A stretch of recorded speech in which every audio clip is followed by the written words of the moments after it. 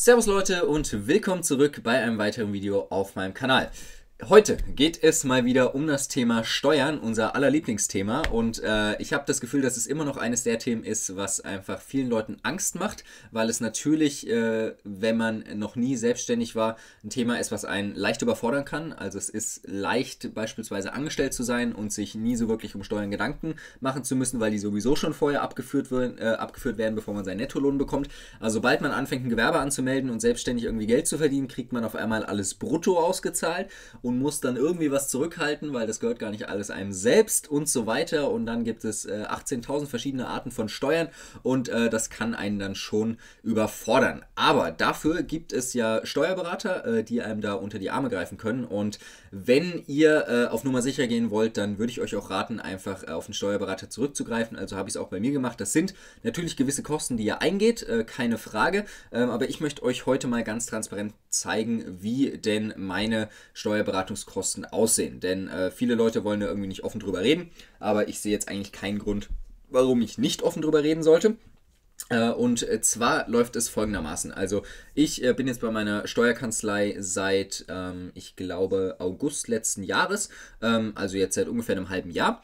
Und äh, ich möchte euch zwei Kostenpunkte äh, zeigen. Also die haben einmal 2018 meine kompletten Jahreserklärungen gemacht, also meine Einkommensteuererklärung, meine Umsatzsteuererklärung, ähm, die Erklärung zur Gewerbesteuer und ähm, ich glaube, das war es dann auch soweit. Also ihr müsst wissen, ich habe äh, zwei Gewerbe, also einmal das Amazon FBA Gewerbe und dann noch ein anderes Gewerbe, was relativ klein ist, also da muss nicht viel gebucht werden, da gibt es nicht viele Rechnungen, ähm, aber das äh, zählt dann noch mit rein, das sollte man noch im Hinterkopf behalten. Und ich habe für meine Jahreserklärung in Summe, die habe ich hier, ähm, habe ich 500 Euro netto glatt gezahlt. Also 500 Euro, dann noch äh, 19% Mehrwertsteuer drauf. Das waren meine Kosten für meine Jahreserklärung. Wenn man das jetzt auf einen Monat runterbricht, kann man sagen, okay, für die Jahreserklärung sollte man im Monat 40 Euro äh, netto zurücklegen. So, finde ich jetzt in Ordnung. Also dafür ist dann quasi das Steuerjahr für mich abgeschlossen. Es gab noch ein bisschen Beratungskosten zwischendurch, ähm, aber die sind äh, vernachlässigbar gering. Also das waren vielleicht nochmal äh, zwischen 70 und 100 Euro, glaube ich, ähm, wo ich einfach nochmal angerufen habe und äh, noch ein paar Fragen hatte. So, und was habe ich an regelmäßigen Kosten? Äh, wie gesagt, ich habe zwei äh, Gewerbe. Ich beziehe mich jetzt aber mal nur auf das Amazon FBA Gewerbe, weil das ist das, was euch interessiert.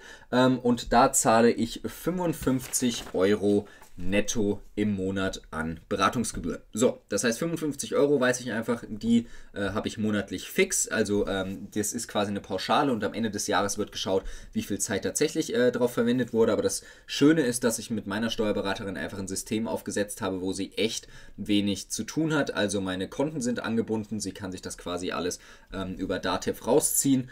Ähm, ich, äh, wir haben die ganze Amazon-Buchhaltung äh, ziemlich automatisiert mit einem Drittanbieter und deswegen ist es eigentlich relativ auf, äh, wenig Aufwand, der von ihrer Seite noch zu tun ist. Und deswegen 55 Euro netto. Ich würde euch mal sagen, äh, das Ganze kann hochgehen bis vielleicht 100 Euro netto, aber das ist einfach so eine Pauschale, die ihr im Kopf haben solltet. Ähm, die solltet ihr zur Seite legen, ähm, wenn ihr äh, die Steuerbuchhaltung abgeben wollt äh, an einen Steuerberater, was ich euch empfehlen würde. Und äh, das sind soweit die Kostenpunkte. Also, ähm, wie gesagt, bei mir 55 Euro netto und wenn man es so will, auf einen Monat runtergebrochen nochmal 40 Euro netto ungefähr für die Jahreserklärung. Und dann sind wir in Summe jetzt bei mir bei knapp 100 Euro netto, die ich im Monat zu zahlen habe für meine Steuerbuchhaltung. So, ähm, jetzt natürlich die Frage, wie findet man einen coolen Steuerberater? Ähm, also ich habe es bei mir ganz einfach gemacht. Ich habe Steuerberater Würzburg eingegeben und habe dann geguckt. ähm, das heißt, wenn ihr in München lebt, macht ihr es dementsprechend für München, Steuerberater München und guckt euch dann einfach ein paar Kanzleien an. Jetzt gibt es zwei Optionen. Und zwar ist es so, dass das ganze Amazon-Geschäftsmodell, gerade mit den Berichten, die Amazon einem zur Verfügung stellt, manchmal ein bisschen kompliziert sein kann. Deswegen wäre es ziemlich cool, wenn euer Steuerberater schon ein wenig Vorerfahrung im Bereich Amazon FBA hat. Dann weiß er, wie es läuft, ähm, weiß, auf was zu achten ist.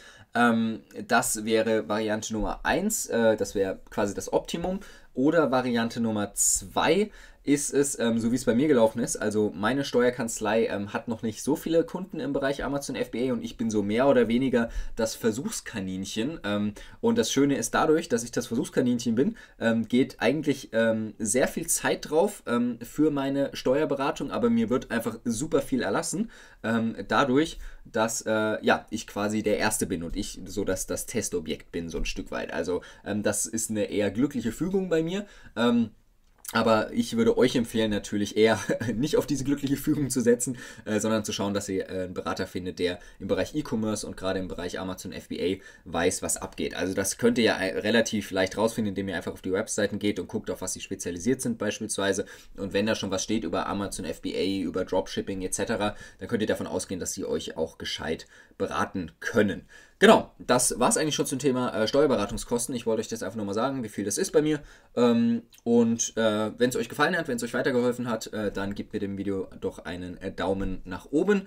Und äh, dann würde ich sagen, sehen wir uns in einem der nächsten Videos. Haut rein. Ciao.